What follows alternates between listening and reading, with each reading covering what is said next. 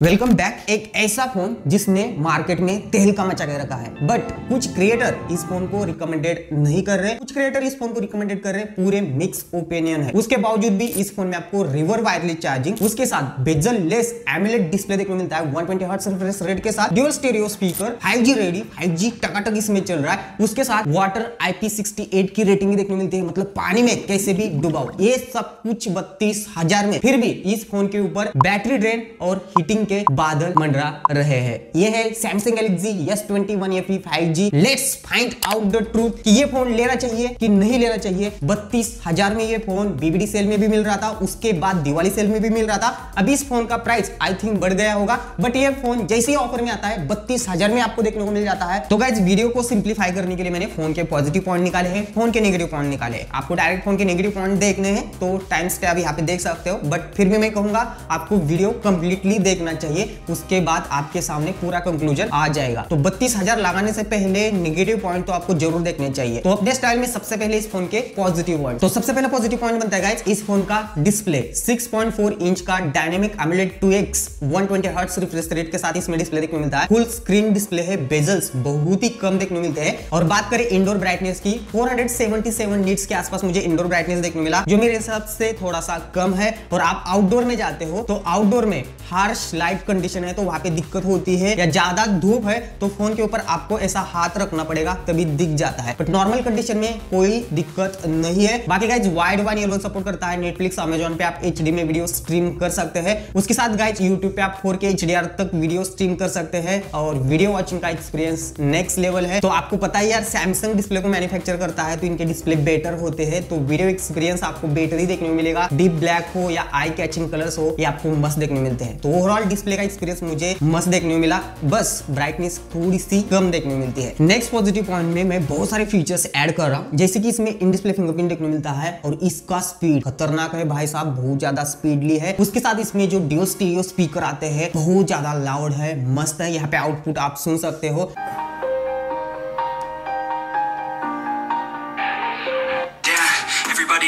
faking now. Everybody knows my heart's faking now. Yeah, she hates me now. I made mistakes, but now I don't ever wanna be alone. I don't really ever feel at home. On my own, in the zone. That's the only way I know. Feeling low, about to blow back up. Here I never let the doubt creep in. Gotta pop a couple. और उसके बाद next feature मिलता है इसके haptics काफ़ी कमाल के हैं। फ्लैगशिप लेवल टक टक फील करवाते हैं सिस्टम में हर जगह, काम करते हैं। और उसके बाद गाइज़ इसमें आपको वायरलेस चार्जिंग का भी सपोर्ट देखने मिलता है। टेन वैट की वायरलेस चार्जिंग देखने मिलती है। और उसके साथ ये रिवर्स वायरलेसली भी दूसरे फ़ोन को चार्ज कर सकता है। कभी कभी मैं इससे अपना आईफोन 12 भी चार्ज कर लेता हूँ। और उसके साथ गाइज़ इसमें IP68 की भी रेटिंग देखने मिलती है। मतलब वाटर रेजिस्टेंट है। आप पानी में डायरेक्ट इस फ़ोन को डुबा भी सकते हो। तो ये बहुत सारे इसके पॉजिटिव पॉइंट्स भी देखने मिलते हैं। और उसके साथ नेक्स्ट पॉजिटिव पॉइंट मिलता है गाइज़ ये है इसका कैमरा। मेन कैमरा आपको 12 मेगापिक्सल का देखने मिलता है, उसके साथ 12 मेगापिक्सल अल्ट्रा वाइड और 8 मेगापिक्सल का टेलीफोटो देखने मिलता है और सेल्फी कैमरा आपको 32 मेगापिक्सल का देखने मिलता है। ओवरऑल जो 12 मेगापिक्सल से आप नॉर्मल फ़ोटोज़ लेते हो, उसमें ठीक ठाक डिटेल्स देखने को मिल जाती है, कोई दिक्कत नहीं है। अल्ट्रा वाइड भी बहुत मक्कन जैसा काम करता है और इनकी जो प्रोसेसिंग होती है, ये मस्त देखने को मिली। जैसे कि मैंने यहाँ पे स्काई का फ़ोटो खींचा था, जो डायनामिक रेंज वगैरह है, ये बहुत अच्छे से ये बैलेंस कर लेते हैं। उसके बाद गाइज़ बात आती है पोर्ट्रेट मोड की तो पोर्ट्रेट मोड में कोई दिक्कत नहीं है। डिटेल्स वगैरह ठीक ठाक देखने मिलते हैं। एच डिटेक्शन वगैरह प्रॉपरली देखने को मिलता है। सैमसंग की फ़ोटो की प्रोसेसिंग मस्त है। बट दिक्कत आती है टेलीफोटो 3x पोर्ट्रेट मोड में ज़्यादा शार्पनेस आपको बिल्कुल देखने को नहीं मिलती है। 8 मेगापिक्सल का कैमरा है, इसके वजह से हो सकता है। बाकी गाइस 32 मेगापिक्सल का जो सेल्फी देखने को मिलता है, उसमें आपको मस्त डिटेल्स देखने को मिलते हैं। और वीडियो रिकॉर्डिंग की बात करें तो गाइस 4K 60 fps रियर से भी ये शूट कर सकता है। स्टेबिलाईजेशन ठीक ठाक देखने को मिलता है। 1080p 60 fps भी रियर से शूट कर सकता है। और सेल्फी में भी आपको 4K 60 fps का सपोर्ट देखने को मिलता है। इस प्राइस में इससे कुछ एंड्रॉइड के फ़ोन देख रहा हूँ, जिसमें आपको 4K 60 fps सेल्फी में भी देखने मिलता है। वीडियो क्वालिटी मस्त है। इवन गाइज़ इसमें आपको पोर्ट्रेट वीडियो का भी ऑप्शन देखने मिलता है और ये भी यार ठीक ठाक काम कर लेता है। ओवरऑल कैमरा का जो डिपार्टमेंट है, ये मुझे बहुत मस्त देखने मिला इस फ़ोन के अंदर। नेक्स्ट पॉजिटिव पॉइंट आता है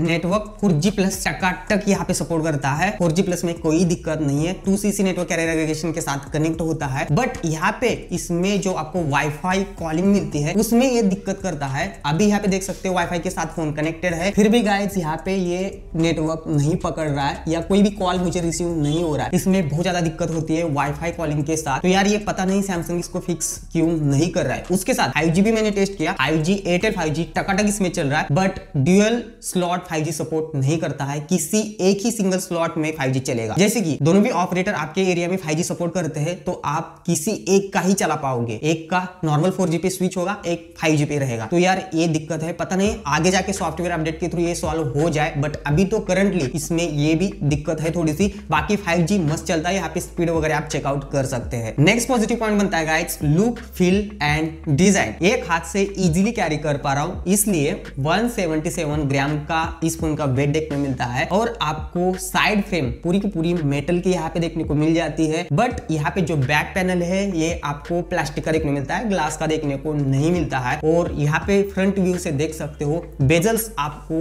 बहुत ही कम थीन देखने को मिल जाते हैं। इवन टॉप बेजल्स तो ना के बराबर ही है। तो ओवरऑल गाइड्स मुझे इसके बैक पैनल प्लास्टिक से कोई दिक्कत नहीं है, क्योंकि इसका वेट कम है और ओवरऑल मुझे लुक डिज़ाइन फील इसका बहुत ही मस्त लगा। नेक्स्ट पॉजिटिव पॉइंट बनता है गाइड्स इस फ़ोन का software one UI four currently देखने को मिलता है। एक दो वीक के अंदर आपको वन यू फाइव देखने को मिल जाएगा बट वन यू फाइव के अपडेट के बाद फ़ोन में ज़मीन आसमान का चेंज होगा, ये चीज़ें भूल जाओ। बस हल्के फुल्के एनिमेशन में और फ्यूचर में चेंजेस आ सकते हैं बट फ़ोन जैसे कि वैसा ही रहने वाला है, ठीक है? तो यहाँ पे वन यू फोर की बात करें तो बहुत सारे फीचर के साथ आता है, जैसे कि ऑलवेज ऑन डिस्प्ले आप अलग अलग थीम्स को इंस्टॉल कर सकते हैं। यूआई बहुत ही ज़्यादा सिक्योर है सिक्योर फोल्डर का भी ऑप्शन आपको देखने को मिल जाता है। उसके साथ यूआई में एड्स वगैरह देखने को नहीं मिलती, और सबसे बड़ी बात की आप इसमें कॉल रिकॉर्ड कर सकते हैं, क्योंकि सैमसंग का खुद का डायलॉग देखने को मिलता है। चार साल के आपको एंड्रॉइड के अपग्रेड्स इसमें देखने को मिल जाते हैं। बात करें हल्के फुल्के प्रॉब्लम्स की वो है गाइस जीटर्स हल्के फुल्के लैग्स यूआई में आपको देखने को मिल जाते हैं। जीटर तो यूआई में आते हैं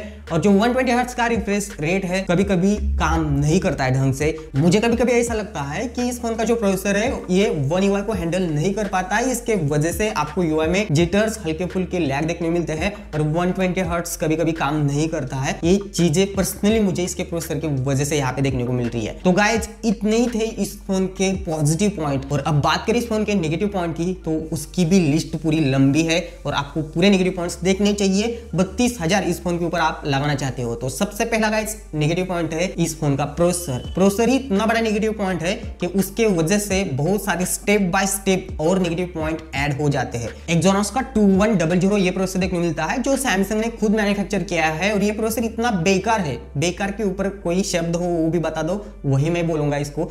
क्योंकि यार नॉर्मल टास्क इससे हैंडल नहीं होते हैं। और हीटिंग भाई साहब मतलब इसका कोई बहुत ही तगड़ा ना आता हीटिंग से। बताऊँगा आगे तो गाइस एंटी बेंचमार्क स्कोर लगभग four lakh ninety one thousand के आसपास आते हैं। सीपी थ्रोटलिंग की तो सीपी थ्रोटलिंग में 95 परसेंट का परफॉर्मेंस दे पाता है बट हीटिंग मेंटेन करने के लिए परफॉर्मेंस ड्रॉप कर देता है। और GIPS score one lakh forty two thousand के आसपास मुझे देखने को मिले। सो गाइस प्रोसेसर बिल्कुल ठीक ठाक नहीं है यार। यहाँ पे कोई स्नैपड्रैगन प्रोसेसर होता तो मज़ा ही आता। और प्रोसेसर वीक होने के वजह से नेक्स्ट नेगेटिव पॉइंट बनता है गाइज़ गेमिंग परफॉर्मेंस अभी आप तो बोलोगे कि सैमसंग के फ़ोन तो गेमिंग के लिए नहीं होते। मानता हूँ हेवी गेमिंग के लिए सैमसंग के फ़ोन नहीं होते हैं, जो नॉर्मल गेमिंग होती है, जैसे कि टेंपल रन सबवे सर्फर उसमें तो ठीक ठाक चलना चाहिए कि नहीं? उसमें भी आपको लैग गेम में देखने को मिलते हैं। बाकी बीजेमआई की मैं ज़्यादा बात ही नहीं करूँगा। स्मूथ प्लस एक्सट्रीम नाम के लिए देखने को मिलता है। ये phone automatically smooth plus extreme मतलब सिक्सटी एफ़ में, ये phone automatically forty to fifty F के बीच में रहता है। बट फ़ोन के अंदर बहुत तगड़े फ्रेम ड्रॉप लैग कभी कभी लगता है जायरो काम ही नहीं कर रहा है। गेमिंग के लिए तो बिल्कुल नहीं है। ये चीज़ें ध्यान में रखो। इवन आप हेवी टास्क भी करते हो, तभी आपको हल्के फुल्के लैग देखने को मिल जाते हैं। तो गेमिंग तो दूर दूर की बात है। नेक्स्ट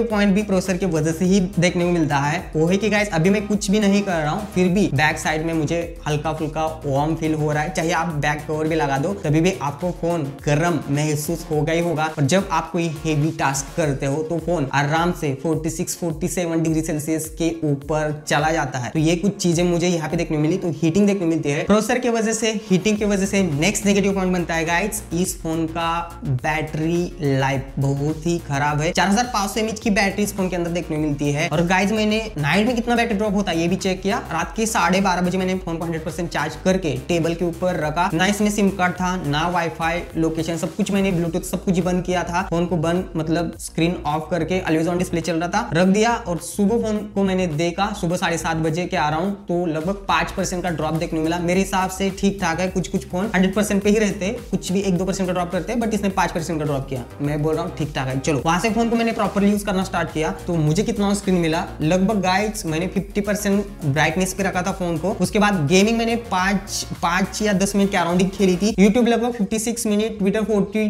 two minutes के आसपास नोवा लॉन्चर मैंने इंस्टॉल किया है। और उसके बाद गाइज़ मुझे ऑन स्क्रीन मिला है four hour thirty seven minutes only तो यहाँ पे मैं ज़्यादा एक्सपेक्ट कर रहा था। मे बी मैं सिक्स घंटे के ऊपर एक्सपेक्ट कर रहा था। बट उतना बैटरी बैकअप आपको स्ट्रॉन्ग देखने को नहीं मिलता है। कभी कभी मैंने देखा है कि साढ़े तीन घंटे से लेकर साढ़े चार घंटे के बीच में ऑन स्क्रीन देखने मिलता है। तो दिन में आपको दो बार फ़ोन को चार्ज करना ही पड़ेगा। बट चार्ज करने के लिए भी आपको फास्ट चार्जर नहीं मिलता है। ट्वेंटी फाइव का चार्जर आता है बट इनबॉक्स भी आपको चार्जर देखने को नहीं मिलता है गाइज़ आपको सेपरेट खरीदना पड़ेगा। तो गाइज़ ट्वेंटी फाइव के चार्जर के साथ इसकी चार हज़ार पाँच सौ बैटरी आप चार्ज करने के लिए जाते हो तो वन आवर टेन मिनट से लेके वन आवर थर्टीन मिनट्स के बीच में ये टाइम ले लेता है। ओवरऑल बैटरी एक्सपीरियंस इसका बहुत ही ज़्यादा खराब है। तो गाइज़ ये तो थे तीन मेन नेगेटिव पॉइंट जो यार बहुत ज़्यादा अफेक्ट करेंगे फ़ोन को यूज़ करते करते क्योंकि प्रोसेसर तो तगड़ा होना चाहिए। जो प्रोसेसर बिल्कुल तगड़ा नहीं है बैटरी भी अच्छी मिलनी चाहिए, जो बैटरी भी अच्छी नहीं है और फ़ोन वार्म होता है हीट करता है और जो ब्राइटनेस है, वो बहुत तगड़ा ऐसा देखने को नहीं मिलता है। और एक प्रॉब्लम क्रिएट होता है